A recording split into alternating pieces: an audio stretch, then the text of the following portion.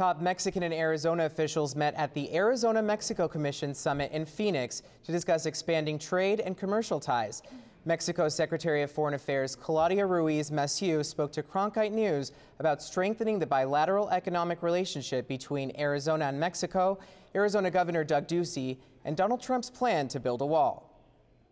I met with Mexico Secretary of Foreign Affairs Claudia Ruiz Massieu at Construye en tu Tierra, a housing event for binational families. She says more than 90% of Arizona Mexico trade passes through the 300 mile stretch of border our countries share. Always uh, looking for ways to increase our trade, our mutual investments, to make our border more efficient.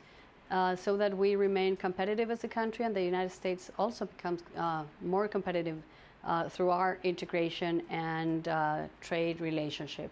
Ruiz Massieu estimates around 65,000 Mexicans cross the border into Arizona daily, contributing to our economy. She says Governor Doug Ducey understands the importance of Mexico in Arizona's economy. He knows that the work and productivity and commitment of the Mexican community in Arizona is also very important for the state's uh, development and economic growth. Presumptive Republican presidential nominee Donald Trump doesn't appear to view Mexico from the same vantage point as Governor Ducey. To put barriers on the way this economic dynamic is behaving, it will have a negative impact of, on jobs in the United States in most states. Ruiz Massieu says the only thing she hopes to build between the U.S. and Mexico is a prosperous future. When we build more together, we do it better and we create more prosperity, more jobs, more opportunities for Americans and for Mexicans.